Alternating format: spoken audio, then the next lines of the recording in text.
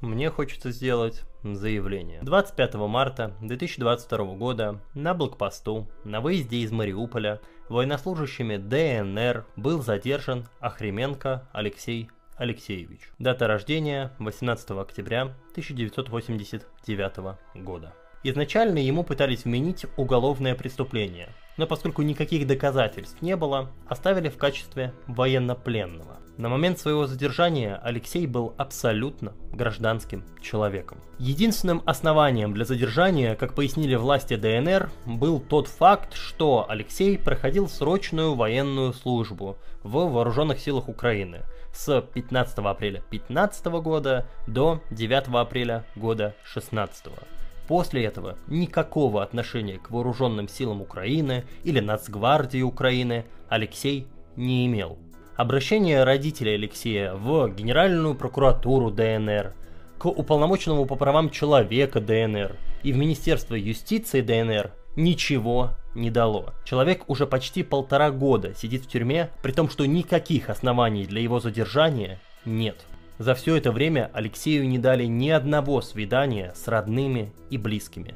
Никакого намека на правозащиту ему также не предоставили. Только письма. Письма и один раз в месяц передачи. Это хуже, чем уголовное. В тюрьме 4 свидания в год, 2 длительных вообще-то.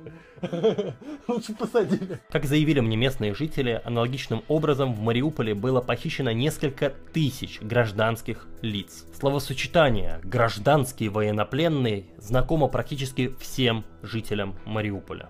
Власти ДНР тем самым совершают уголовное преступление. Они фактически похитили этих людей. На момент выхода этого видеоролика я уже подал обращение в Генеральную прокуратуру и Следственный комитет по поводу похищения Алексея Охременко и других гражданских лиц. Прошу всем, кому не лень, также обращаться в прокуратуру и Следственный комитет.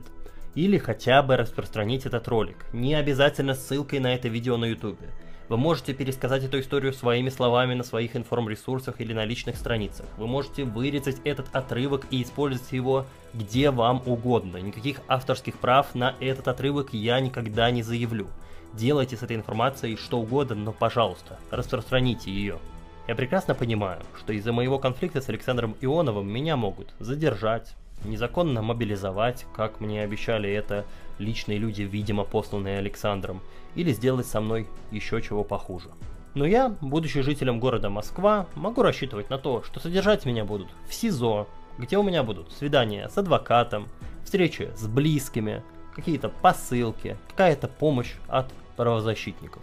Иными словами, я, будучи жителем города Москвы, могу рассчитывать хотя бы на какую-то имитацию законности. Но в случае с Охременко и другими похищенными людьми, законностью тут и не пахнет. Незаконно похищенные люди должны вернуться домой.